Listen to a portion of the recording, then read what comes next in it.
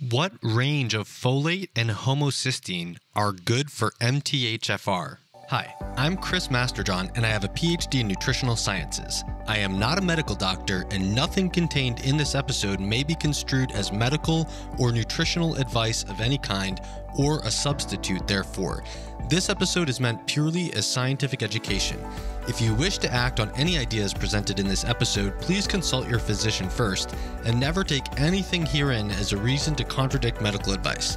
With that said, enjoy the episode. I have two questions. I think they're quite short, but they're related to MTHFR. Uh, I am homozygous for the 677. And um, my first question is what's a good level of folate and homocysteine within the normal range that would tell me I'm not my uh, my functional functional uh, my function of MTHFR is not too affected. So, for example, my homocysteine was eight at one point, range being under ten. my folate was kind of mid range. Is that good? Uh, I don't know what the ranges are in France, but the range for folate here is useless. It's greater than mm-hmm. three nanograms per milliliter, and it's yeah, around 20. Mm-hmm. Um, it, I, okay. Yeah, I mean, there's not a I, there's not a lot of data from the scientific literature. It's just that uh, anecdotally, every time that I've worked with someone to improve their diet or supplement pro, uh, regime in a way that, um, in order to deal with methylation related issues, that was successful.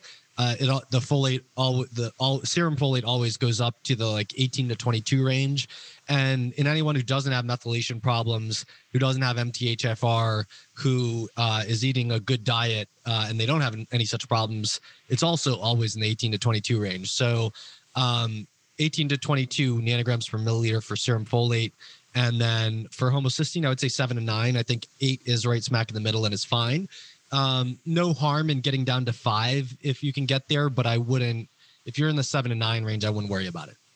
Gotcha. Thanks very much. This episode was part of a Q&A for members of the CMJ Masterpass, a buyer's club with exclusive and massive discounts on your favorite premium foods and health products, including pasture-raised and wild meat and seafood, supplements, sleep accessories, water filters, phototherapy devices, and much more.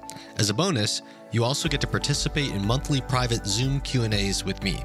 You can join the Masterpass at chrismasterjohnphd.com slash masterpass and use the code Q&A, spelled out as Q-A-N-D-A, Q&A, for a 10% lifetime discount.